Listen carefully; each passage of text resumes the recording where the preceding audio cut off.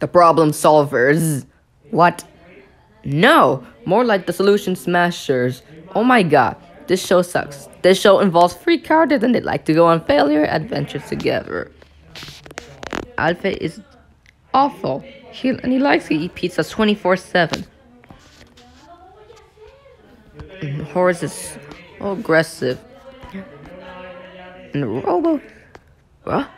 It was abysmal. The animation is trash. The theme song is abysmal. And the characters like to smoke pot, eat poop, and drink pee. Thank God it got cancelled in 2013. Do you know who likes this show? Oh.